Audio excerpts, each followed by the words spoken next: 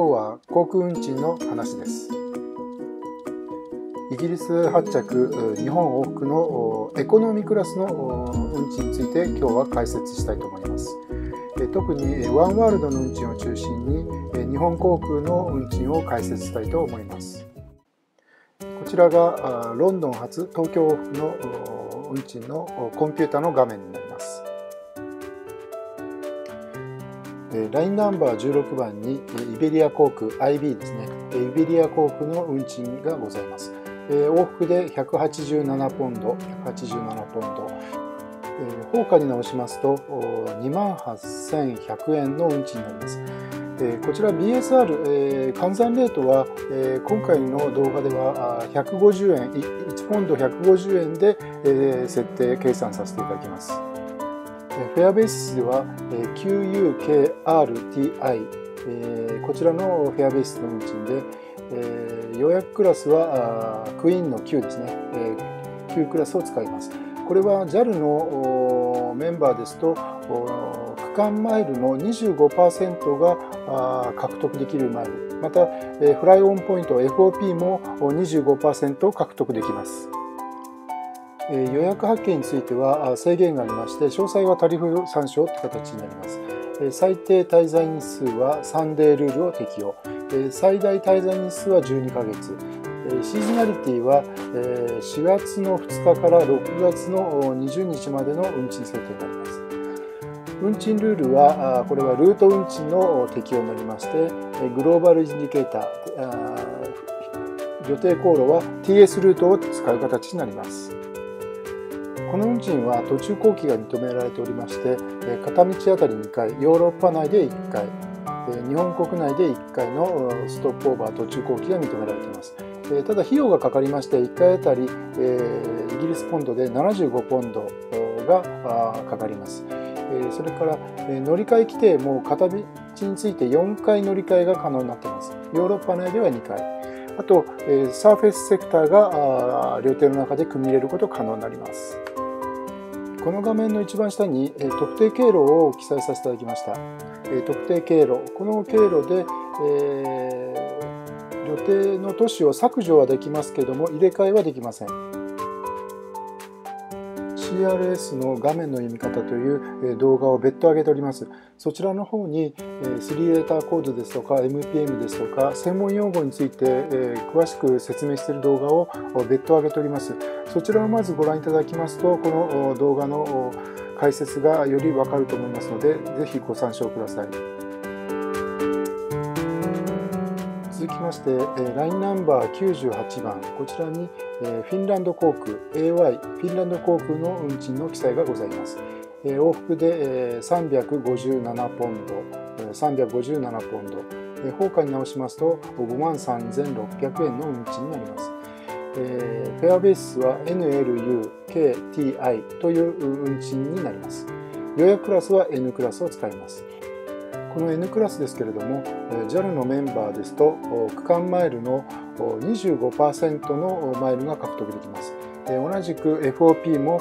25%の FOP が獲得できます。予約発見について特別な制限がありまして細かく詳細については他法参照という形になります。最低滞在日数についてはサンデールールが適用になります。最初の日曜日を超えて帰国が可能という運賃になります。それから最大滞在日数はこれは12ヶ月、1年ですね、12ヶ月の有効期間になります。運賃は、これはルート運賃になりまして、グローバルインジケーター、経路については TS ルートの適用になります。この運賃ですけども途中後期ストップオーバーが認められておりまして、え片道あたり2回ヨーロッパで1回、え日本国内で1回ストップオーバーが認められていますまた乗り換え規定ですけれどもトータルで、え片道について4回乗り換えが可能で、えさらにサーフェスセクターが可能になりますこちらの運賃の特定経路をこの画面の下の方に、え記載させていただきました。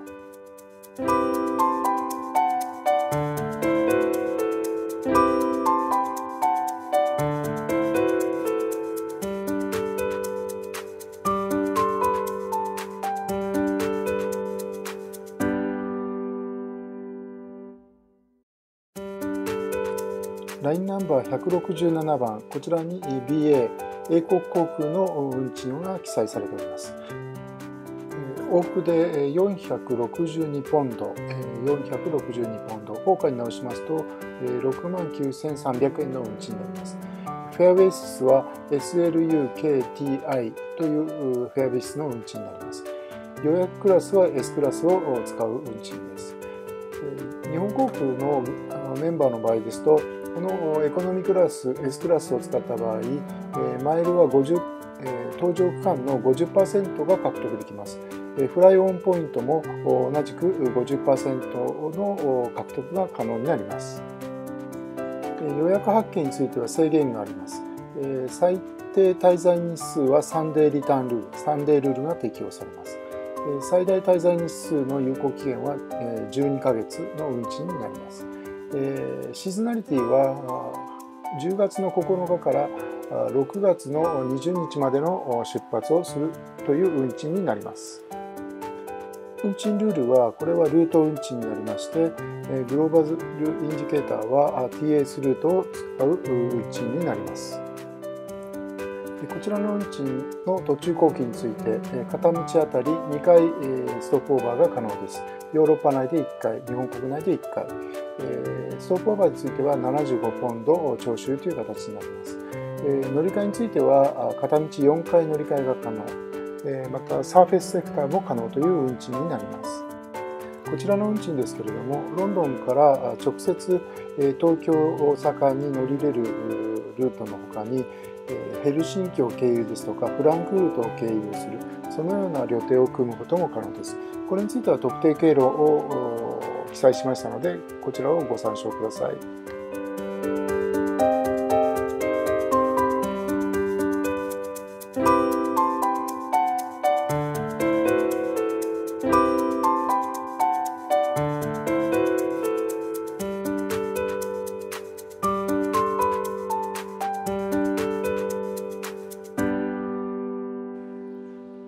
インナンバー237番に日本航空の運賃が記載されております。JAL 日本航空、往復で557ポンド、往復で557ポンド、今回に直しますと8万3600円の運賃になります。フェアベースは SLUKTI というフェアベースの運賃になりまして、予約クラスは S クラス、予約クラスは S クラス。でこの予約クラス S クラスですと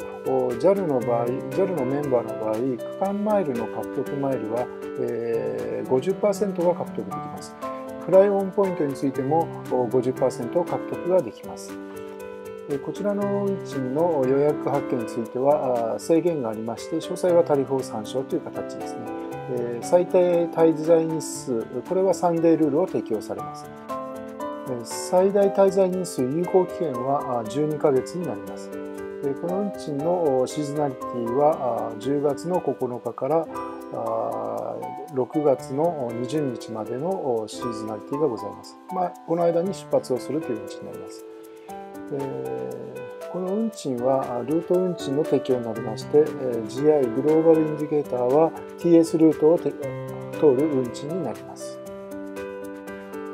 この運賃は途中後期が2回認められておりましてヨーロッパ内で1回日本国内で1回1回について75ポンドのストップオーバーチャージがかかります。乗り換えは4回可能になりましてサーフェスセクターも可能になります。この運賃の特定経路をこの画面の下の方に記載させていただきましたのでご参照ください。この JAL の SLU-KTI という運賃をもう少し解説したいと思います。この運賃、日本航空でイギリス発日本国内の往復運賃になります。運賃は2種類ありまして、繁忙期の運賃と閑散期の運賃があります。この S クラスを使って次の L が閑散期のマークになりまして、繁忙期の場合はここが H という運賃になります。SHU、KTI というのが繁忙期、SLU、KTI というのが換算期の運賃、フェアベースになります。最低滞在日数はサンデールールの適用。往路の出発の後、最初の日曜日の午前0時1分以降のフライトでしたらば、帰国便に搭乗が可能になります。この運賃は、え未使用の場合は、手数料150ポンドで、え取り消しが可能になります。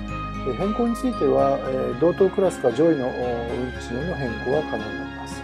予約発券については予約完了後3日以内に発券をする必要がございます。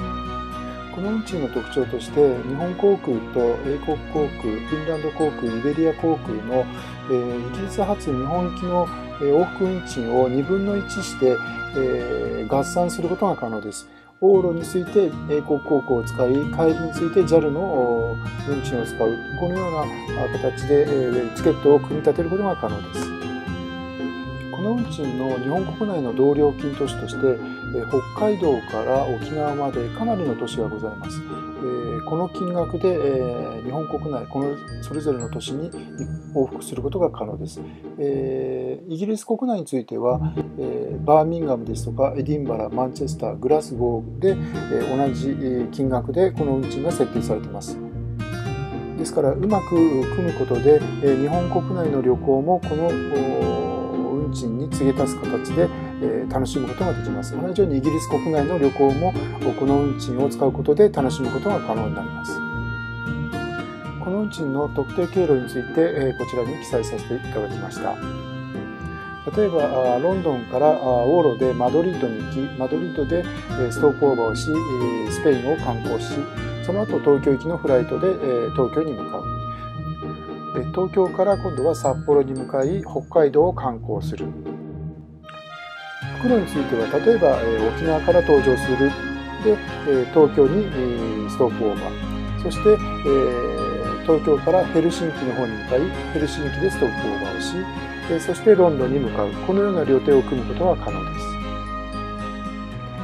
今回記載させてきました JAL のこの運賃ですけれども同じルールの運賃が他にもございます。N クラスを使う運賃。そして今回紹介した S クラスを使う運賃。あとえ V クラスを使う運賃 L クラスを使う運賃 M クラスを使う運賃 K クラスそして H クラスそれからプレミアムシートを使う E クラスという運賃も同じルールの運賃として設定されておりますこちらがヨーロッパと日本との間で一番マイルが獲得できるのが東京と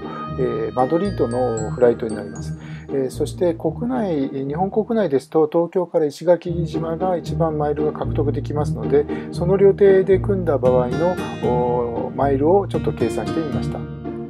ルートはロンドンからマドリード、そして東京、そして石垣島というルートですね。これを往復したという形になりまして、え運賃計算し、FOP を計算したところ、FOP 単価が一番高いのが、今回紹介しました S クラスを使う運賃、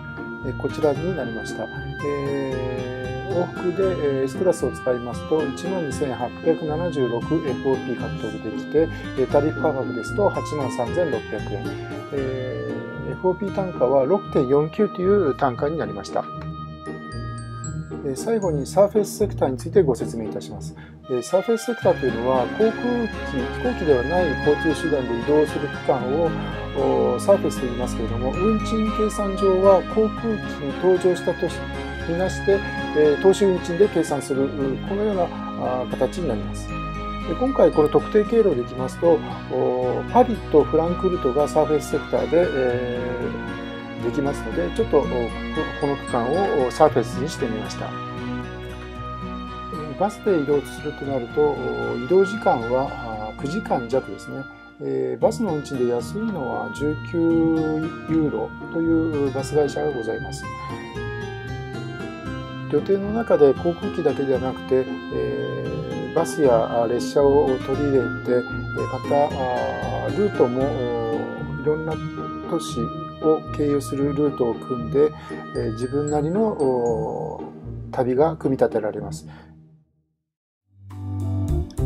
今回の動画が気に入っていただけましたら高評価をお願いします。またチャンネル登録もよろしくお願いします。